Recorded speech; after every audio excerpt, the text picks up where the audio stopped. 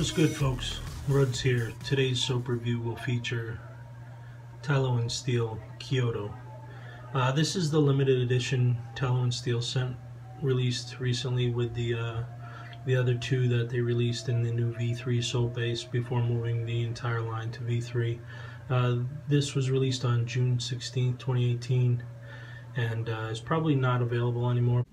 So just before posting this uh, video on YouTube, I heard from uh, Ryan over at Tallow and Steel. Apparently there'll be a limited number of Kyoto sets available on July 21st through the Tallow and Steel website, which I'll have linked below uh, as part of the original video anyhow. So if you do uh, enjoy this review and you do want to uh, grab a brand new set, check out tallowandsteel.com on July 21st.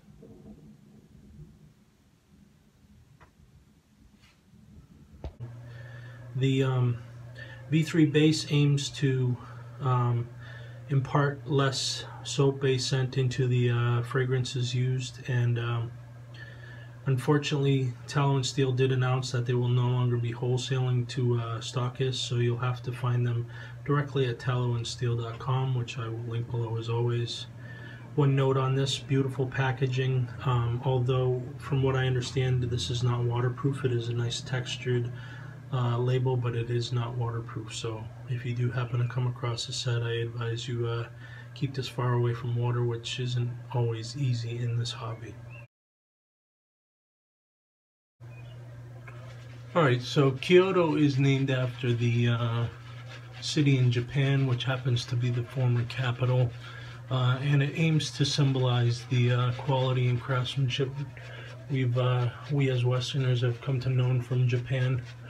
Um, they're notorious for their well-crafted offerings in several different industries as well as you know food culinary. They're very good with culinary arts.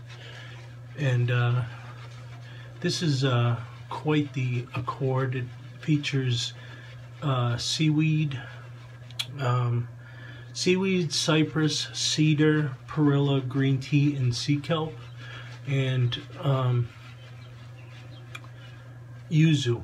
And I'll tell you what you get a yuzu punch up front that's quickly met with some uh, sea kelp smell um, almost like the smell you'd get at a uh, at a high-end sushi bar. You smell that that sea kelp going on and uh, it's really nice. Um, the scent is very well rounded with some uh, smokiness and earthiness and um, it's very bold and unique which is not uncommon with the tallow and steel uh, scent offerings.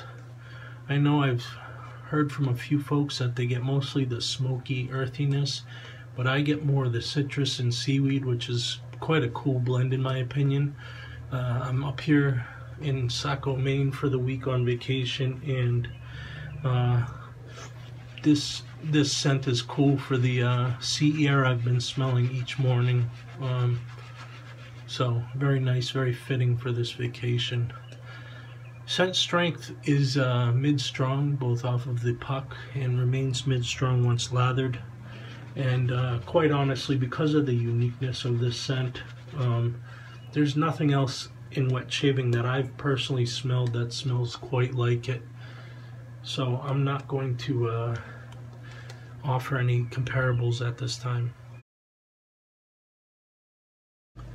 Alright, uh, you'll recall from my previous review of the Tallow and Steel Sicily that the uh, V3 base shows no appreciable improvements from the V2 base. Um, both bases are extremely good bases, knocking on the door of elite status.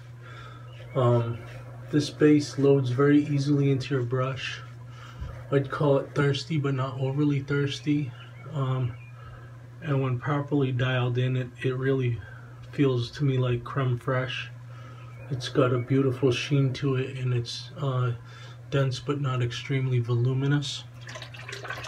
Uh, slickness, both primary and residual, is very good on this soap base. No problem buffing with no visible lather. And the uh, the post shave is where it's at with this soap base. It's just wonderful. Um, they put a lot of skin food in in the uh, ingredients, which I will list below uh, for you to see. But it really uh, leaves your skin feeling soft and nourished uh, well after the shave. So kudos to them on that. The um, resulting shave score, if you recall from Sicily, is a 90, which puts them on par with uh, soap bases such as the 2018 Noble Otto release, as well as uh, Oleo Soapworks Canard base.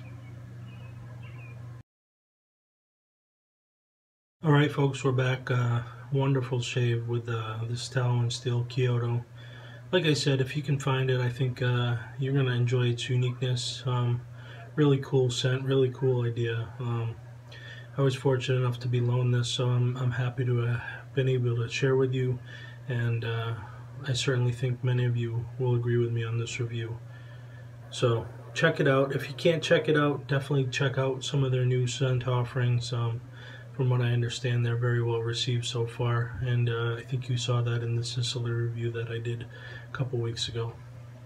As always, thumbs up the video if you enjoyed it. Comment below if you have anything to say. If you're not a subscriber, please become one. See ya.